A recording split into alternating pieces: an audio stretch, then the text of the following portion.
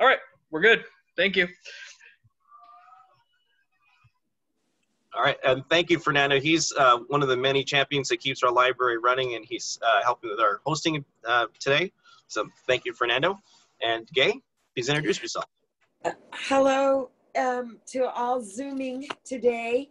Um, I uh, first want to sincerely thank uh, the doctors Ernest and June Siva and Pat Murkland of the Dorothy Ramon Learning Center a true jewel in the heart of Banning, downtown Banning. And uh, Francisco Ramos and Fernando Morales for making this happen from Banning Library District. Um, uh, I am a member of Friends of Banning Library. We're the nonprofit volunteer organization uh, who support uh, Banning Library uh, and all their good works. Um, Banning Libraries, 107 years old this year, uh, and uh, has knowledgeable staff, uh, outstanding trustees, and spot on programs for all ages, for patrons and public alike. Um, but there's something more rare about Banning Library in that we have an historian on staff, Francisco Ramos, and that is a precious and rare uh, person in the library world now. And uh, he runs a seriously active history department. You really need to check it out. Um, and uh, uh, let's see what else. Um, I think Dorothy Ramon and uh, Banning Library for producing this historical event. And um, I really look forward to the featuring speakers and presenters, Mary Ann Andreas, Isabella Madrigal, and Sophia Madrigal. And thank you for being here. Thank you, Gay. This couldn't have come together without your help and influence. Thank you for everything you do for our library, for public service, for making sure that um, these programs that are so essential continue uh, with your help and the other members of the board of the uh, Friends of the Library. Thank you so much. Yes, we're a little tribe of our very own who are working for you. And uh, for those that, that may or may not know, I have another distinct honor. I have a distinct honor with working with another champion of oral history, someone who has been an activist in her own way through the Dorothy Ramon Learning Center and making sure that with other groups in our area and other different constituencies in the field, that we're all working together to make sure that our oral history programs continue. And she was one of the first people I reached out to that had this idea, and she jumped in full force she uh, gave me a lot of great ideas about who to invite that were dynamic, engaged speakers for this particular event. And she is a dynamo in her own way and has a long career of uh, leading the field in preservation and history for the Dorothy Ramon Learning Center. Pat Murkland, thank you for all of your help. Please introduce yourself and uh, the floor is yours. Oh, okay. Well, thanks for that. Uh, uh, big long introduction. I didn't even know you were talking about me. Thank you very much. I appreciate that. I'm going to introduce um, Ernest Ernest Siva, our president of Dorothy Ramon Learning Center, and ask him to uh, start us off with a little blessing and a, a, few words, and then I'll ask him to introduce our first speaker, uh, Mary Ann Andreas. Thank you. Ernest. yes, Ernest, we can't we can't hear you, but if you would please uh, kick off our ceremonies with a blessing. This is in the Serrano language. Pova art yukum tamhiti aarati pupang. It says open their eyes so that they see many things, a beautiful future. And I think that's fitting in this for us today. And I'd like to say that uh, our um, primary speaker, the, the elder in our midst, uh, had her start with her grandma. Her grandmother did uh, carry the load of the ceremonial uh, called the kika. And that ended when she passed in 1976. So Mary Ann is carrying on a, in, in, leadership and has uh, proven herself uh, through the years when the, the, times are tough, she stood up and, and told him what's what. Those were political times. And um, she was recognized as, as uh, uh, championing um, tribal affairs and um, culture in particular. So we are really happy for her and for her presence today. And, and uh, young ladies, we, we are so proud of you and just keep the work up. We, we're going to have fun following your, your careers and hakapa. Thank you.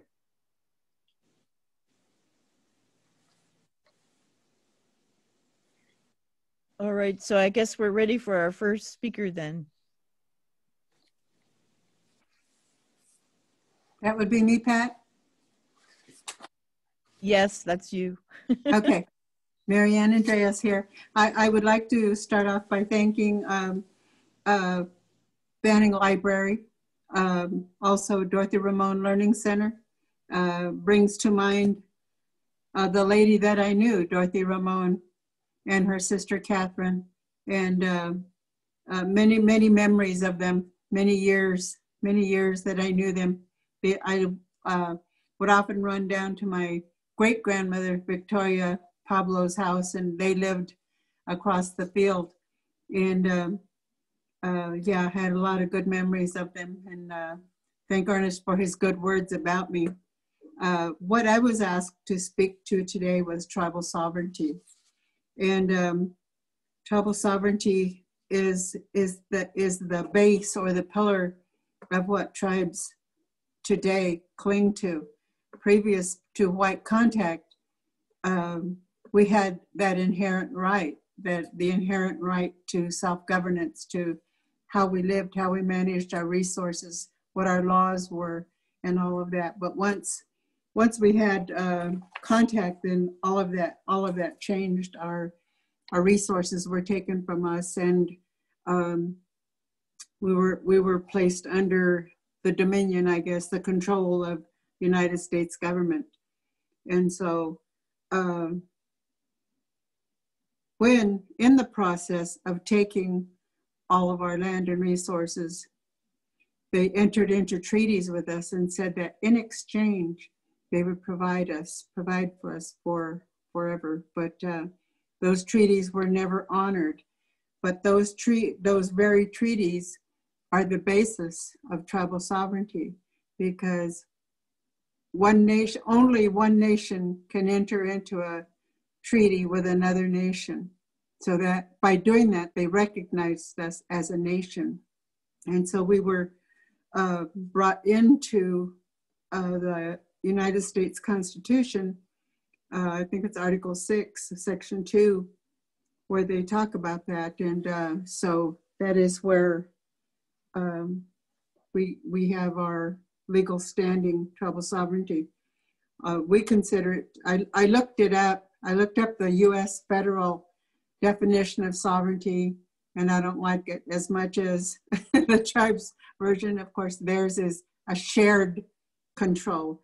And um, uh, we always have believed in our own individual uh, standalone sovereignty. Uh, tribal, tribal sovereignty is the right to self-govern. And I think that part of what I want to talk about today is the importance of teaching our generations, our children, everyone, uh, even even uh, governments, um, state governments, city governments, uh, federal government, um, about sovereignty and how it affects the tribe and how it came about. And uh, since governments are constantly changing due to term limits, it's a, it's a nonstop job. About, and the importance of the fact that it's an inherent right, that the government did not give it to us. It was not granted to us by anybody. It's an inherent right that we had previous to, to any contact. And um, I would like uh, our tribal, we do have a tribal sovereignty class for all of our children turning 18, but I think there needs to be a greater understanding of uh, teachers uh, in, in public school, uh, colleges, and ev- at every level um, that we teach the, uh, what tribal sovereignty is and how it interacts with tribes. But I think the basic responsibility is on the tribes. We- have to, we have to make sure that every one of our tribal children understands that. The, the inherent right to self-governance is the right to determine our membership, the right to hunting and fishing, and to create laws. And so those are all very important um, powers to have and powers to fight for. And um, over the years, they have changed somewhat, diminished, although some tribes have worked in the past to gain some back, but I think it's a constant battle. Uh, tribal sovereignty. Um, I have things written down here. Um, there's there's different forms of tribal sovereignty, and, and I think one of the most important ones is economic sovereignty, because when we did not have the resources, the money to hire lobbyists, to hire attorneys to to fight battles for us, to we for the first time during the gaming battles, we were able to muster an army of lobbyists, of public relations counsel, of legal counsel, and we had cell phones, we had everything, fax machines, I mean, you name it, we went to war. And we won. We won to a certain degree the right to game that we said was, was one of our inherent so- sovereign rights. The general principle of sovereignty is about power and control. So in the tribe's interest, in our generation's interest, it is important that tribal leadership fight for this continuously and that our people understand it. And when we're, we move on, then they take over, they stand up and they speak out and fight for the same thing. The power of a, of a government body to exercise both um, physical, well, I wrote this as control over the people, the land, and the resources within a determined boundary. That is, that is what we have to do. In my, in my opinion, I have heard it said before, and I agree with this, and I say it all the time.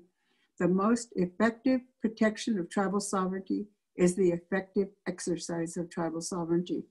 That means we have to, uh, we, as in the case of gaming, we exercised our right to, so, to the sovereign right to gaming, and now we have that right. And I think people, in in general, in the public, are used to it. They're so used to it, they accept that as a right of our sovereign right as a tribe, as Native people. So those are those. That's one example of how we exercised our sovereign right, and how through uh, determination over the years, public public uh, council, public relations council, we have successfully generated a lot of goodwill through uh, our um, gaming operations. There are many um, shifting policies, uh, unratified treaties um, that that affect us constant, constantly. And uh, so then we fall back to reserved rights. Whatever is not given up in a specified treaty and is not explic- explicitly spelled out, then that means that that is reserved to the tribe. And we must realize that and fight for that as well. Um, I'm hoping that uh, anything that, comes out of this, and I know our um, tribal council. Um,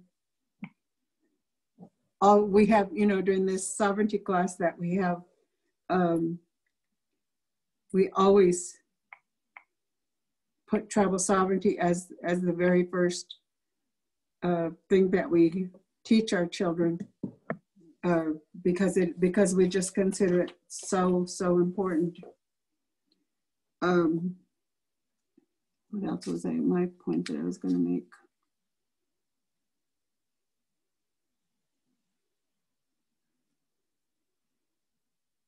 There, the three types of um, sovereignty in the United States are the United States federal government, the state federal government, and the tribes. And it is, I find it interesting that this federal state government did not sign any treaties with the state. So many people consider that tribes actually are higher than states because the federal government did sign treaties with it with the tribes.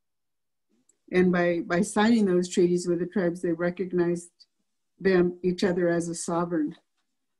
And that, that is an important point because states' rights sometimes usurps tribal sovereignty in many cases. And so that, that's another area that um, we, we have to continue to defend. You know, in as, as I was going through my notes and thinking about this and doing a little bit of research, I, I thought, well, it is almost as though you have to be a, like a constitutional scholar. You have to be a treaty expert. You have to be a constitutional scholar to some degree. You have to be a historical uh, scholar. You have to have a background in economics. You have to understand all of all of what is uh, involved in tribal sovereignty, not only tribal sovereignty, but um, the United States sovereignty, the states' rights sovereignty, and, and the tribe's sovereignty. It is uh, quite in depth and quite um, complex and continuously changing. You know, we have this thing called uh, pencil, pencil, um, you're moving, Pat. Uh, we have this thing called pencil uh, sovereignty where both ends of the pencil are used. Uh, the eraser to erase laws and the other part to, to write new laws that diminish our, our tribal sovereignty. And I think that uh, tribes have to continue to work hard to protect our tribal sovereignty. It comes down to um, the government to government relationship. It comes down to the inherent right of self government. It comes down to um, the treaties that were made between tribes as nations and the United States of America. And um, I think that uh, it, it's very, it gets very complex. It's, it's a little bit like um,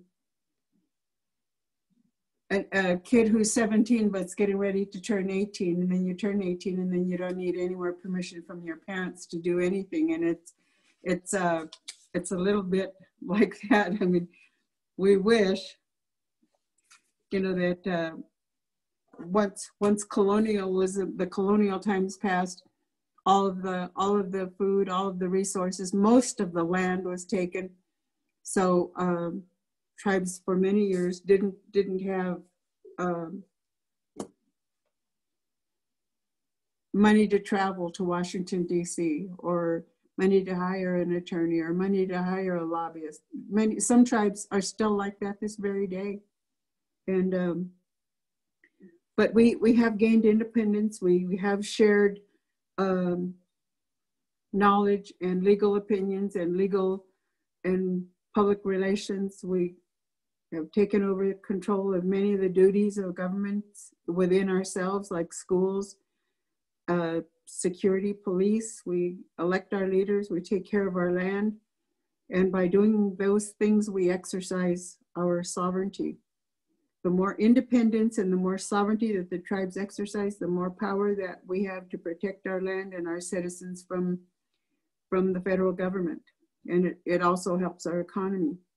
We, um, I know uh, every organization that I have belonged to, the National Congress of American Indians, which is the oldest uh, Indian organization in the country, that's their number one goal. Our California Nations Indian Gaming Association, that's their number one goal. First, do no harm to tribal sovereignty. TASIN, Tribal Alliance of Sovereign Indian Nations. First, do no harm to tribal sovereignty. That's the basis that we that we can do all that we do. And so um, I would I would of course like to see more and more be able to walk up to a child and a young person and say, can you tell me what tribal sovereignty is? and have them just jump right jump right out and, and tell me. And um, you know be be knowledgeable about who we are where we came from and where we're going to. And um, I don't have any more. If anybody has any questions they would like to ask me, I would I would be happy to answer.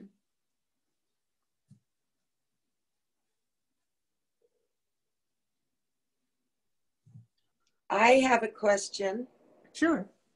Um, that um, last summer, I believe there was a Supreme Court decision regarding uh, treaties that had been signed in the 19th century but had slowly eroded. Right. Uh, uh, has that had an impact? Well, I don't think the impact is yet to be felt. I know that people are quaking in their boots. I think that with the the, the appointment of um, two western two western um, judges, um, I can't think of his name, Kavanaugh uh, was one. Gorsuch? Yeah. He, Gorsuch, he had come, he had worked in the West, he understood, and um, he wrote a wonderfully worded uh, decision, an opinion, and um yeah, yeah, that that the that has yet to be implemented, but if if and when it is, I think 75% of Oklahoma is going to be landless and homeless, and uh, we, we will see how that turns out. Thank you. Thank Sometimes for- the law doesn't look for justice, it looks for fairness. So we will see. Okay. Sometimes right. we win and we don't win, you understand? I do, but thank you for shedding some light on that. Yes, that, was Thank that you. was, everybody was so happy on that one. That was a Okay. a landmark decision. Hopefully it it sets precedents for more. Oh, yes, yes. Yes. Thank you. Okay, You're thank welcome. you. I was told 15 minutes, Francisco? Yes, absolutely. And we also have time at the end of the program if anybody would like to uh, put a question into the chat or if something comes up from our other presenters and you have an idea you'd like to um, express either to um, Dr. Siva or to Mary Ann and to our presenters, um, make sure you put it in the chat as well so that we can at least get it at the end and no one forgets their question as uh, our presentations go on. And with that, uh, looks like if you do have questions, let's save them for the end. And uh, as such, um, Pat, would you like to introduce our next speakers, please? Okay, I'm not sure um, whether Sophia or Isabella is going first. Um, I'll go ahead and go first. okay. Um, all right. Well, then um, it's my pleasure to introduce uh, Isabella Madrigal. And we first uh, really got involved in supporting uh, her um, in the year um, 2019.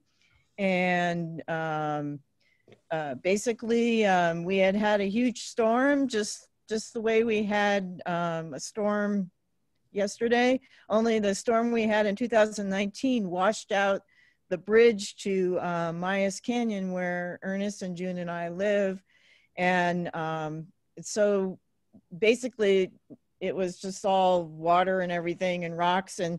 So finally, uh, we decided the water was gone, and, and we were crossing over this like really bumpy, rocky, rutted riverbed uh, to get out to civilization. And the phone in Ernest's um, vehicle rang, and it was um, it was your father, and he said. Uh, that you were working on a Girl Scout project, and he wanted to know if Dorothy Ramon Learning Center would do a play that you were writing. And we said, oh, yeah, sure. Yeah, we'll do that.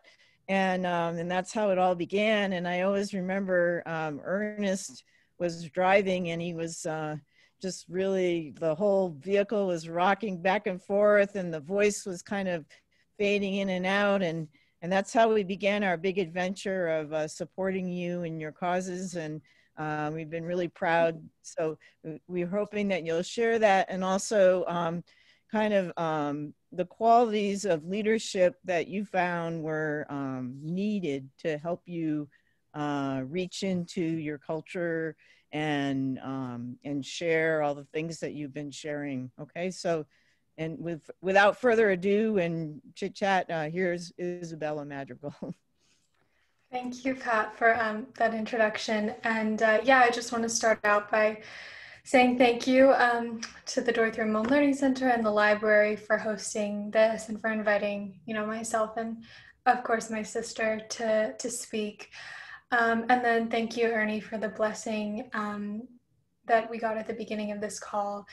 And and I just want to kind of start off by saying that Yes, what I'm going to talk a little bit about today is a native storytelling project that started in 2019 um, with the Dorothy Ramon Learning Center and um, has since continued on in, in really exciting ways. And um, my sister and I are both continuing to carry that out. Um, but yeah, it, it, did all get started in kind of the, the winter around this time, last, this time two years ago now um, which is incredibly exciting. And um, so I'll get to share a little bit today about kind of what that looked like and um, the cultural revitalization that went into that, as well as the community building. And um, just to answer one of Pat's questions, she asked kind of, you know, what makes something like that possible? And I think it really was community. And as I share, I think it'll become clear that it's not kind of a, a one person led project. Um, and there's so many people actually on the Zoom call tonight that were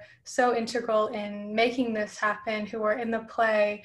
Um, and that, you know, it couldn't have happened without community support, without people willing to just be a part of that. So um, thank you to everyone uh, who's here as well um, for everything that, that they've helped with this project. So I actually do have a, a, PowerPoint that I can share with you guys just to show, show some pictures of, of kind of the project to talk a little bit about that. Um, but I just, I was wondering if it's possible to screen share. Um, but if not, I can also um, just kind of talk to it. Do you have uh, share screen at the bottom of your screen?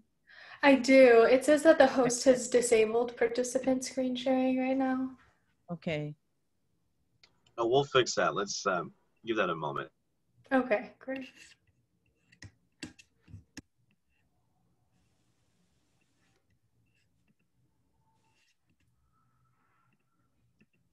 All right, there we go. I think hopefully that should be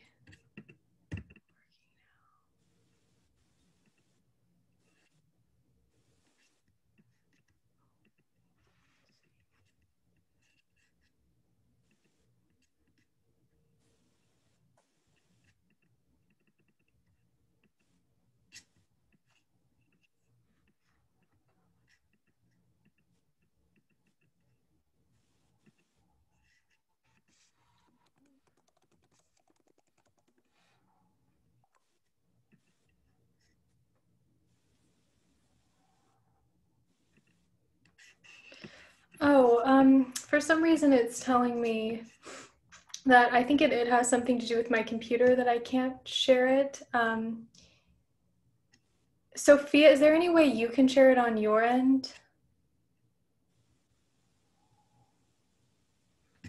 Um, yeah, yes, let me uh, try. Did you share the PowerPoint with me? Yeah, it's the November one. Um, I think it's just something with my computer.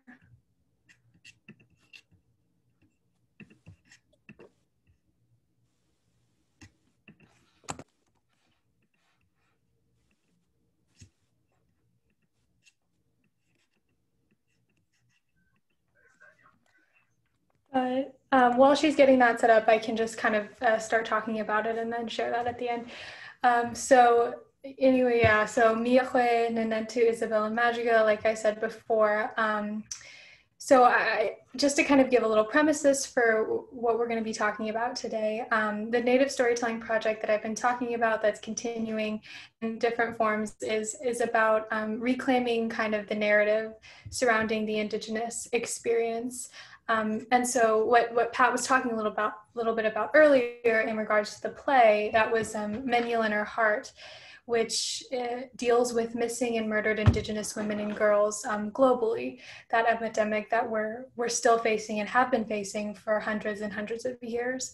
Um, so, we, you know, we were able to bring the play up and down the state of California to about eight venues over the course of these past few years. Um, and got to perform it to quite a bit of number quite a number of people before we had to take a pause during the the pandemic um, that started in 2020. So I play Nasoon, which means heart, in Cahuilla, um, in this rendition of the play Menil in Her Heart, uh, who is sister to Menil, who is played by my younger sister Sophia in the original piece. And she's kind of left to kind of pick up the pieces of a broken life until she embarks on a journey to find her sister.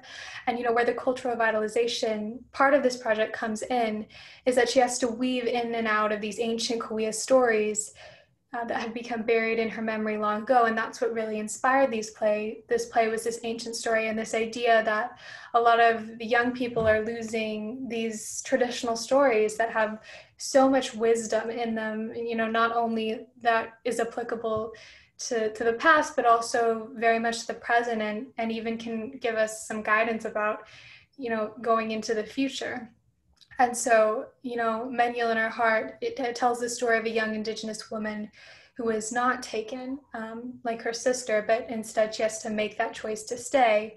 And um, a, a, large part of why she does that is because she finds something really resonant in culture and in understanding who she is, where she came from, and you know why her voice is important. And so, kind of in light with this um, this uh, this Zoom we have tonight, um, it's kind of you know highlighting the importance of, of, of female voices and young female voices and old female voices. Very intergenerational.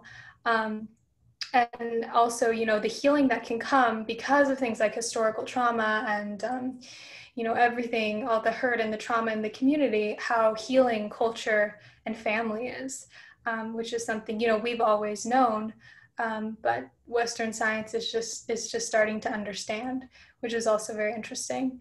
Um, Sophia, so if you could go to the next slide. Um, and the next one after this, I think you might have a little bit of a different PowerPoint. Okay, great. Um, so just to give kind of some statistics of, you know, why I thought this, we thought this play was so important to share now was that um, you know, 85% of Native women will experience violence in their lifetimes right now. And um, Indigenous women and girls, they go missing at rates that are 10 times higher than the national average. And 95% of these cases go undocumented by national news media. So there's clearly a need um, in the community, uh, especially for, you know, our young women and, and girls who are going missing and, and who are, um, you know, being murdered. So it, it it's really important i think that you know this play was was not just about um, you know bringing these stories and that certainly was a huge part of it but it was also kind of geared towards theater for social justice and, and that's why it was so important that it had to come from the community because it was um, trying to not only raise awareness uh, for this issue but to provide healing in, in kind of that intangible way that i think that art and um, in my experience theater uh, is able to do so if you could go to the next slide.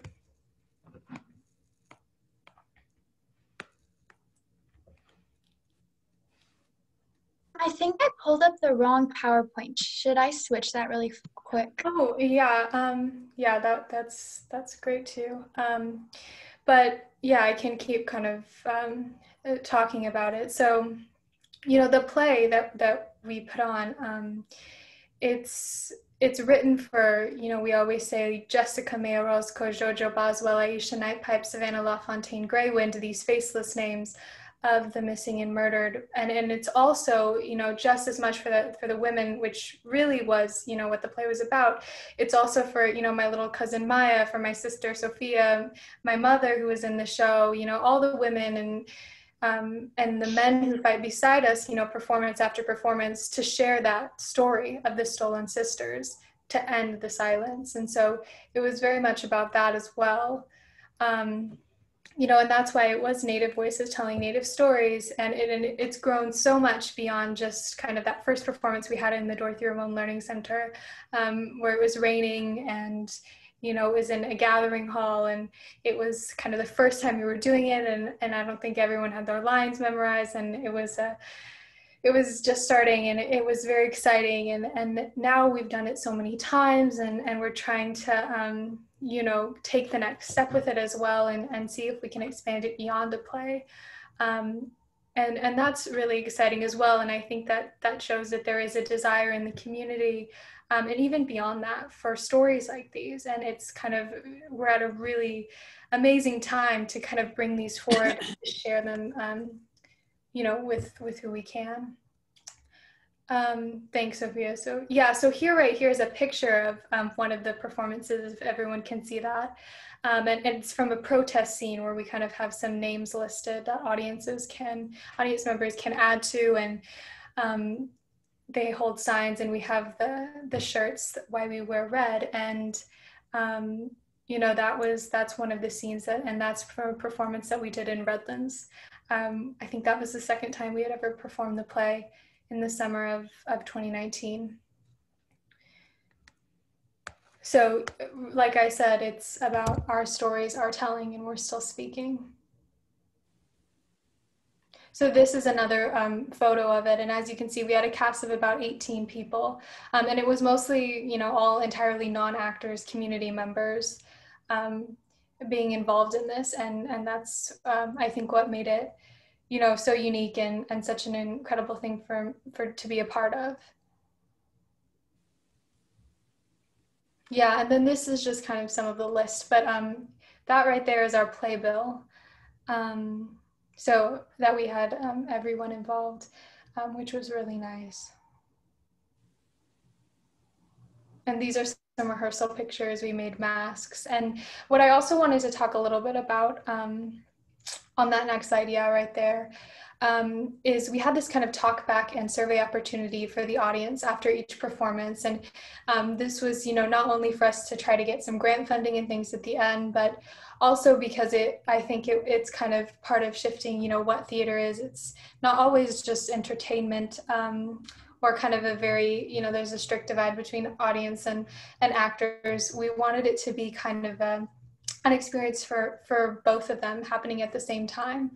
Um, so we had one after every performance, and one audience member shared something that you know I think particularly struck me, and it's something that Native writer Leslie Marmon Silko said first. We don't heal by forgetting; we heal by remembering. Um, stories are medicine, and I think you know that made it clear that that hopefully that message of hope was louder than than the voice of tragedy, um, but making space for both of those things um, was it was super important. So, kind of to talk about, you know, um, what the play was able to to accomplish um, outside of kind of an artistic realm, um, we were able to kind of present at it in uh, October of 2019 at the Girls Speak Out event hosted by the United Nations at their headquarters in New York City. Um, and it was it was a panel of girls from all across the globe talking about issues that specifically target women um, across the world. Um, and and so you know we really highlighted that violence against Indigenous girls it's not isolated to one nation, you know, and Indigenous girls have been under attack for centuries it's often used as a war strategy to weaken, demoralize, and eradicate indigenous populations. And the taking of our women and our girls, it's part of a larger taking, right? It's part of a taking of land, culture, language, and identity. And, and we kind of stress that, you know, that that needs to change and, and global leaders have a responsibility to end that right now.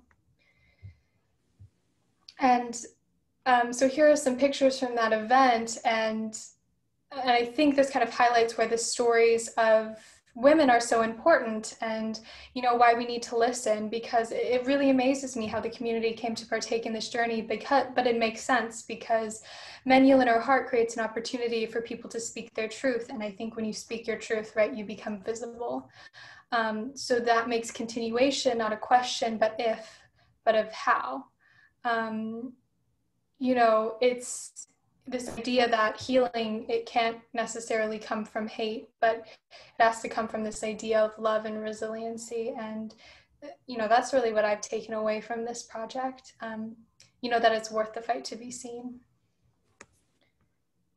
So um, yeah i'll just end by kind of saying that um, you know in the time of the pandemic kind of how we're trying to move forward is um, we also, in earlier last earlier last year, we developed a theater for social justice curriculum that was kind of based on this process of Menil in Her Heart um, to kind of see if we could help community uh, members create pieces of theater from tradition um, that are community centered and, and in a way that um, is is you know very straightforward and doable for people who don't have a background in the arts um, to address the issues that we're facing now. And then, um, you know, just to kind of segue into Sophia, she is going to be presenting a little bit about the work that she's done, also to continue this forward through workshops, um, through reclaiming stories, and, and through creating a nonprofit as well in the same idea. So thank you so much um, um, for listening, and I'll hand it over to Sophia now.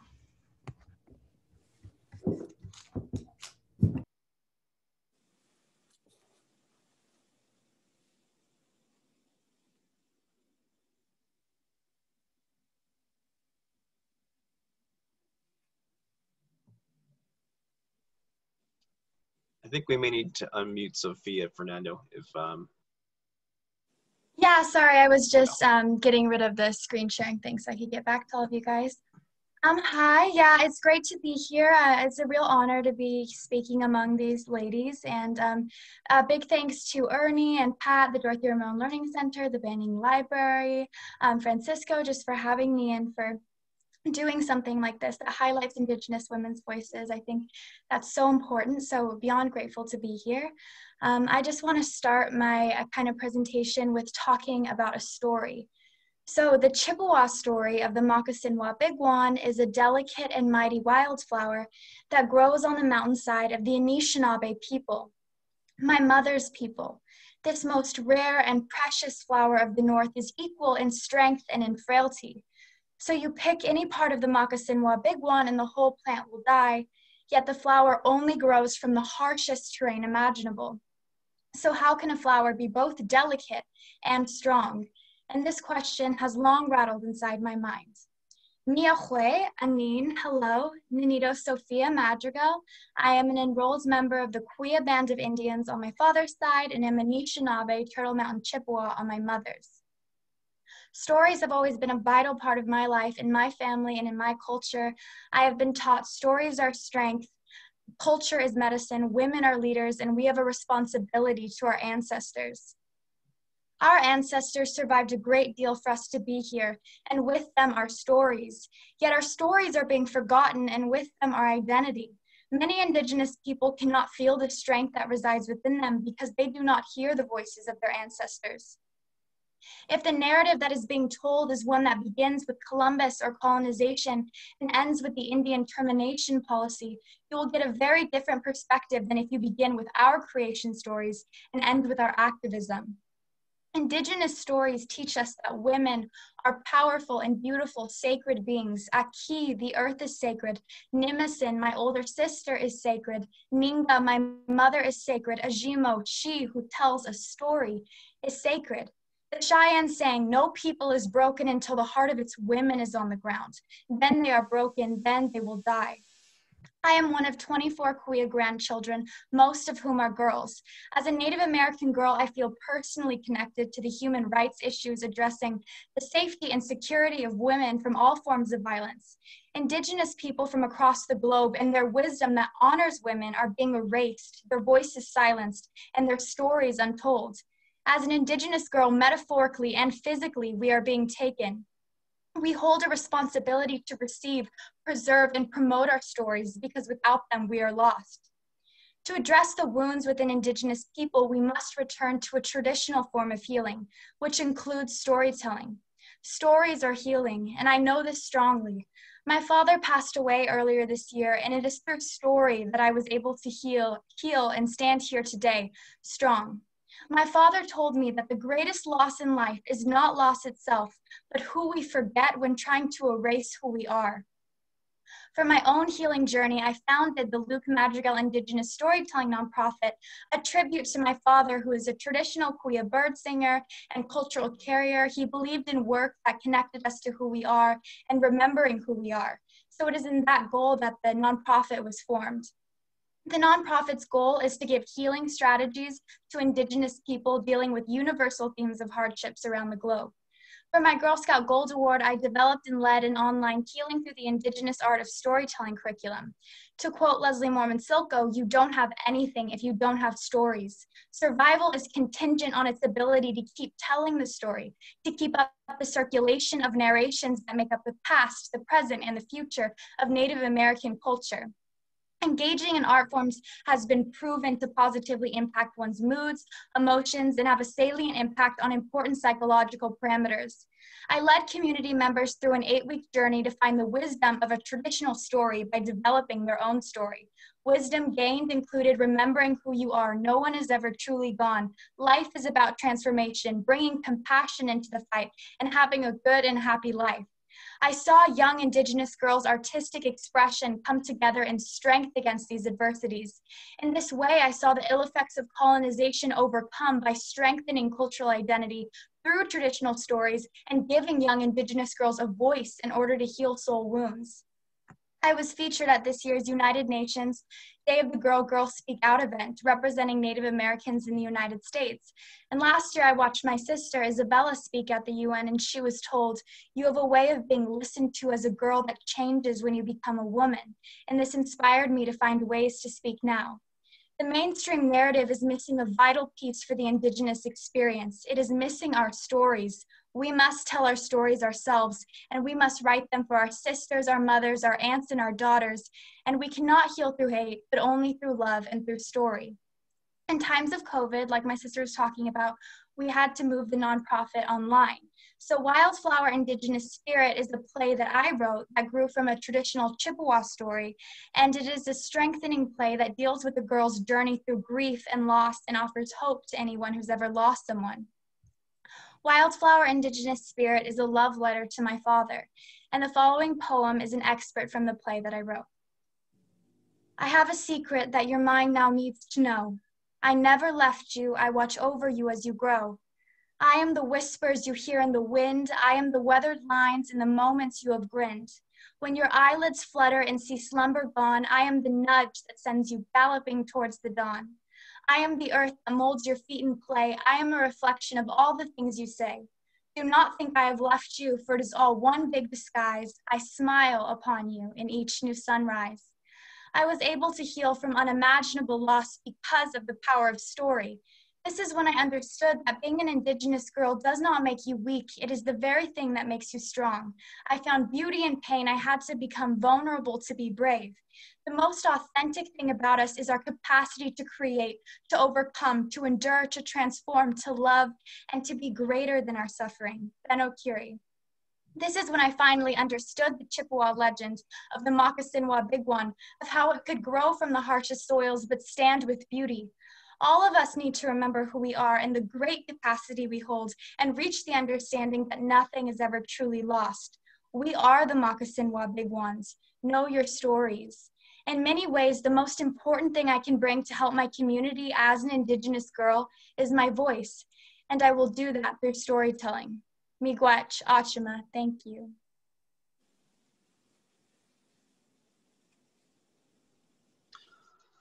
Thank you, Sophia. Thank you, Isabella and Mary Ann, for your powerful testimonies. Um, the stories are strength. The uh, poem is especially um, heartful and important now because we've been through as a community uh, through so much loss uh, in this really um, precarious time of COVID. So um, I was reflecting on those I've known and lost in this year. And so it's a particularly important time to hear that story. So um, as a personal thank you, thank you for sharing that uh, with us. Thank you for that work. Um, this is, it's too, all too infrequent, especially in the Western um, tradition of history, to take history from the people that create it and have dealt with it personally with their own hands, their eyes, their their senses, and to put it into a 2D medium being the paper form which is great for posterity and it seems to you know expand the, the uh, depths of time but we lose the context we lose the meaning we lose the personal feeling that these people have imparted onto others and that keep the oral tradition alive and well from whatever perspective and story that they may want to share at that personal time. So in creating this program and this series of her stories um, as sophia and isabel have remarked the the female perspective, especially in the native tradition, is not is not well broadcast among Western media sources. So I was really great to see uh, to see that slide, and to see its impact make it to the United Nations. Because when we band together, even though we've had so many logistical obstacles in these last uh, year and a half because of COVID, to meet together and share our experiences like we would do traditionally.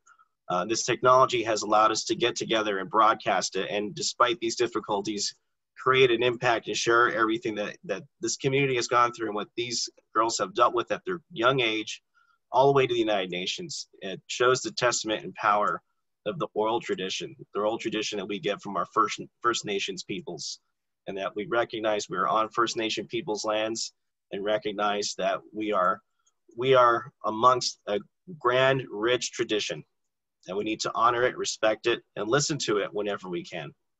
So thank you very much for uh, imparting those words to us, um, to Sophia and Isabel. I'm sure your schedules are quite busy. Uh, thank you for being a part of this. Mary Ann, I've known you for five years now. Um, I've always uh, been honored to listen to you and to especially to your um, wonderful advocacy for tribal sovereignty. Um, as an educator myself, a substitute teacher, you're right. There's a there's a definite uh, distance in what people understand and know about tribal sovereignty. Uh, I had the pleasure of listening to Ernest Siva, Dr. Siva, many years ago, about six years ago, at Malki Museum, sing birds with uh, other uh, other folks at the uh, agave roast that they they used to hold annually before COVID happened, and um, like the the sisters play, and and their mothers are part of the play as well. And when you see it in person, you get the full force of the feeling, the feeling that that cannot come through on a piece of paper that can't even come through in this in this Zoom session here. So um, if if um, Brenda, thank you for for raising such wonderful uh, people that, to to make sure that they get this uh, this message out to to all of us. So if you haven't seen their play, please do. Once we can go back to uh, in-person meeting again. And uh, just as a as the historian of the library, thank you for continuing to enrich our community uh, with with these stories. So just heartfelt thanks. Uh, I know we're reaching the end of our program. We still have a few minutes, and so I know there was one question uh, that came through in the chat here, so I'm going to uh, reach back and uh, ask of it. This came from Eva. Um, Eva, I'm sorry, I don't want to uh, malang, uh, I don't want to misspell or mispronounce your last name. Eva Soltis, I think. Yeah, thank you. Thank you, Eva, for your question. Let's get that to Mary Ann. Marianne, Eva had a question of how much have you seen much progress in your lifetime with tribal sovereignty? I think more than progress, awareness um, among the tribal leadership, among uh, uh, tribal organizations nationwide. Uh, there has been some progress. I think uh, Prop 5 and the gaming initiatives brought a lot of knowledge and uh, awareness of, of our, our right to, to game. It's uh, was not a criminal law under, pro, under Public Law 280. It was a civil action by the tribes. So I think it took education before there was acceptance. And so in that sense, yes, but I think we have a long way to go yet. Thank you for the question, Eva. Yeah, thank you so much for this whole presentation. It's been really inspiring and informative. So. Thank you. We had a, another question um, for the sisters as well. Is are your plays recorded? Um, if since we're not able to gather together and, and, listen live, is there a way people can uh, access your performances digitally? Um, yeah, so for Isabella's play, Menil in Her Heart, unfortunately, we don't have that filmed, so we'll have to kind of wait till that's important in, um, in person. But for my play, Wildflower Indigenous Spirit, we uh, actually filmed the whole thing. So it's in all online digital format. Some of the scenes are Zoom boxes, very few are like in person with family. Um, and uh, but yeah, you my mom put the um, next performance in the chat. You can also find out inf more information on our Instagram and um, website, which I can link in the chat as well. So Wildflower Indigenous Spirit is online. Yeah, and then um, there will be a, um, a kind of over Zoom a reading of the play Menil in Her Heart um, uh, later this year and probably around March. Um, it's going to be um, hosted um, uh, by George Washington University um, in DC. Um, and so uh, I will, will, of course, send on that information to the Dorothy Ramon Learning Center as well, um, if anyone is interested in, in seeing that. Very good work, ladies. I'm very proud of you. Brenda, you must be very proud of your daughters. I'm sure Luke is smiling somewhere. Yes, yes, definitely, definitely. Yeah, I, I see them in I see him in them. And I do. I do. Yes. Uh, thank you. I knew Luke as a young man. Um, I'm 75. He was much younger than me, but I worked with him at the museum and different places. He was he was very nice. Thank you. Brenda, would you like to take a few moments and and speak after um, uh, on on anything you wish regarding our topics today? Um, yes. So, um, yeah, thank you for, for hosting, you know, such an important topic, you know, women's, vo- native women's voices. I think that's so incredibly important and needed for the world. And, um, so thank you for doing this. I want to say Chi-miigwech and, uh, and, um, and just supporting the, the voices. Um, I think, um, the wisdom within native traditions um, native teachings native stories is is more important than ever for the world today. And it's a voice that really needs to be um, heard supported highlighted. So thank you. Thank you. Thank you for uh, raising such great examples of of that tradition and being able to help others outside of the community learn about it and learn about this um, this particular topic. Um, for everybody else, um, we're going to be uh, closing our session, but if you have questions, this would be the time to ask if uh, anything has come to mind, and you can always put in the chat too. I've uh, put my email into the chat as well, so if you have questions about the library district or up and coming programs, please check our um, our Facebook page and also um, as a small announcement, we're producing a lovely documentary series about interesting places and topics in the past. It's called Exploring the Past. Our first episode uh, is being produced in conjunction with the Friends of the Banning Library, and it'll be covering uh, our historic Fox Theater, which is on Ramsey Street. You've seen our mm. wonderful marquee. Uh, celebrate its 100th anniversary in uh, a few years. It's going through some hard times at the moment, so um, look for that as well.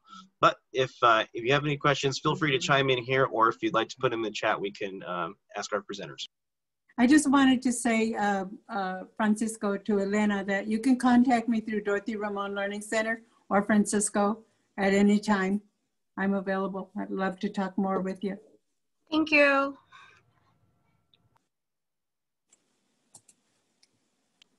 All right. Well, seeing that, um, I just wanted to oh, make yes, one last statement. I just thought, um, so I uh, back in the oh gosh, 90s, I was working as a I was working at uh, Indian Health at the clinic, and so I did. Uh, Mary Ann Andreas didn't know me, but of course I knew who she was, and, and so what an honor to um, just to have my girls like speaking with her in this format. I just I, I think they're like, wonderful. I think they're wonderful.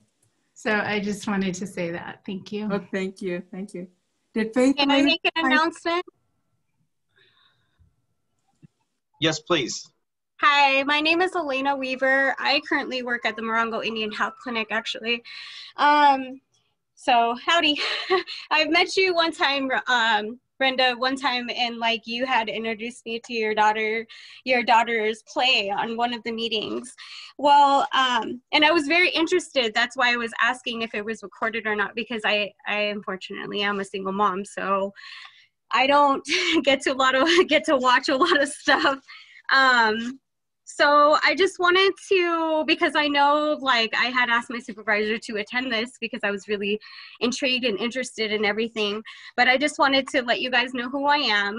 My name is Elena Weaver. I am a community mental health promoter with the Community Mental Health Promotions Program with Riverside San Bernardino Indian Health.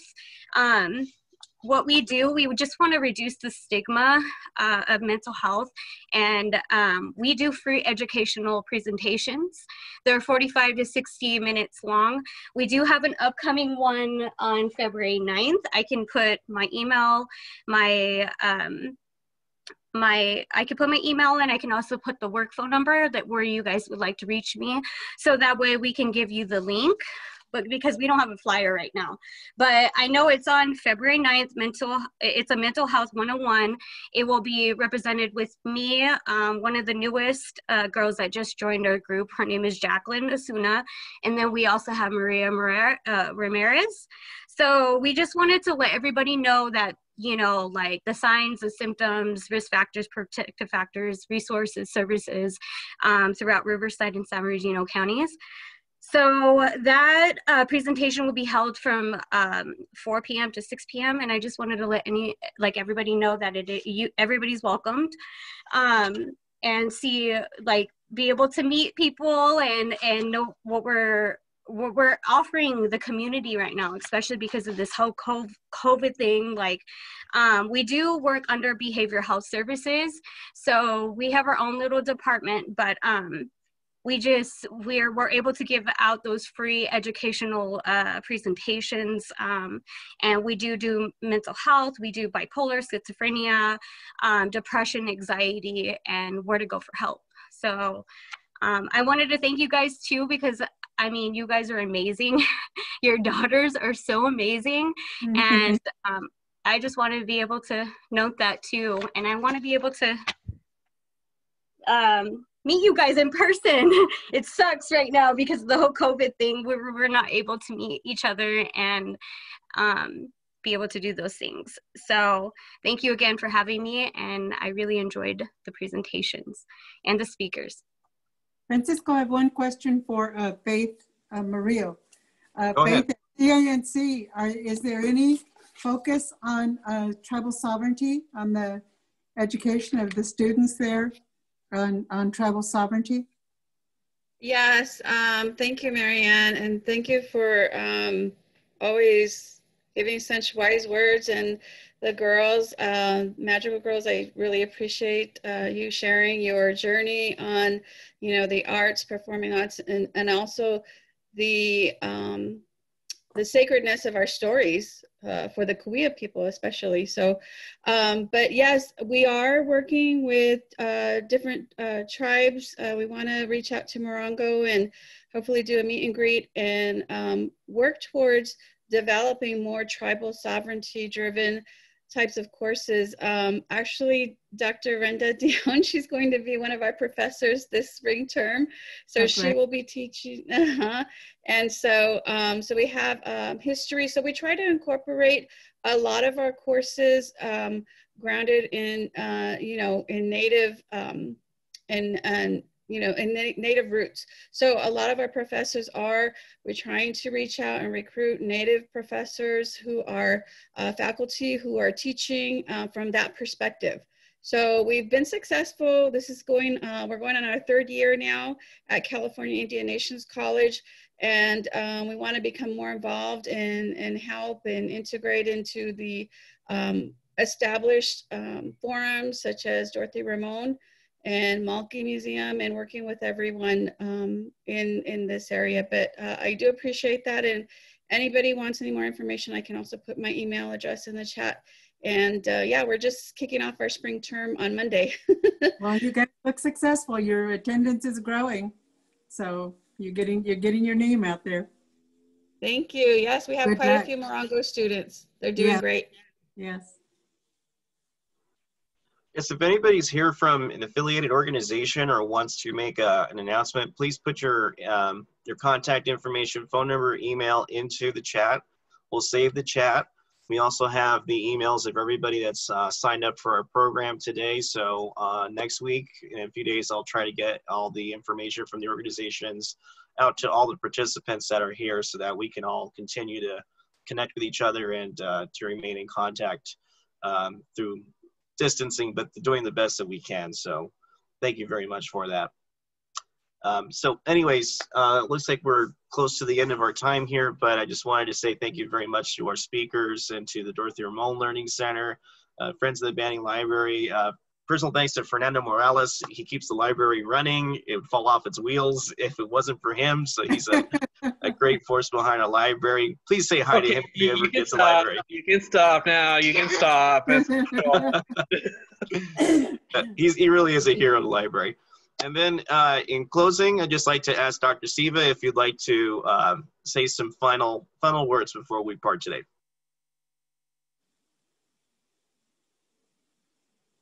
Oh, I don't think we can hear you. Might want to uh, unmute. He needs to unmute. Can't hear him. Hi, Michael Madrigal. Hi, Mary Ann. Thank you for your talk. Good to see you today.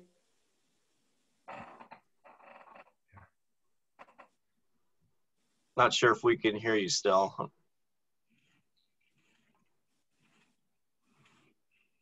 We'll give it a moment. Um, Oh, Okay. here we go. There you are. Yeah. Yes, there was reference to uh, the bird songs, and and that we we do have a, a one third of those left. You hear them sing in the here in the Southland. Those are uh, tells our story. So I, I, uh, refer to those as being um, a good reference to, to uh, for people to investigate um, if possible. If you don't know the language, that's that's a problem. But some of it is in Serrano language and some in Cahuilla. But uh, th- that uh, story needs to be told, and we're going to do something about that here at the Learning Center um, shortly. that's that's what I would like to say and and indeed uh, uh, our stories are in the songs and the songs um, unfortunately um, are gone the, the, the serious songs um, but that, that's the news I'd like to, to impart at this time. I, I really enjoy what uh, uh, the program today it was was very very informative. Thank you.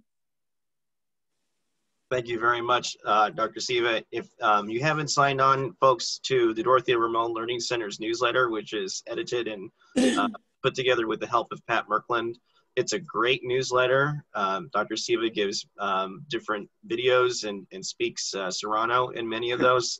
It's a great educational experience, and so please uh, listen to those and, and view them as, as you can. Um, thank you all for participating today. This is going to be the first of many of future uh, oral history exhibitions done online.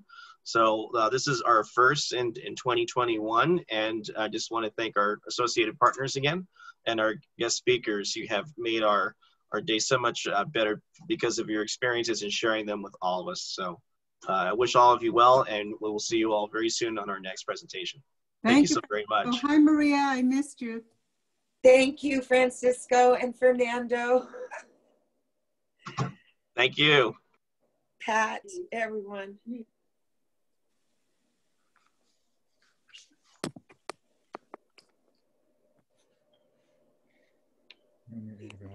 What? What? Speak up. No, no, we're not muted. Bye bye. Thank you, everyone.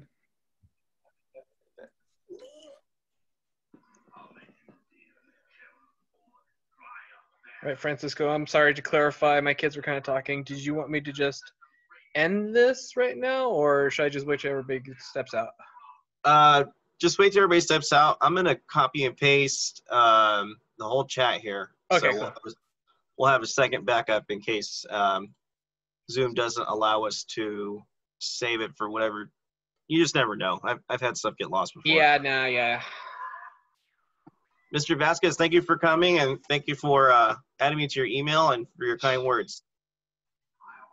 You're welcome. Nice to meet you uh, digitally. Nice to meet you. All right, I see the text document.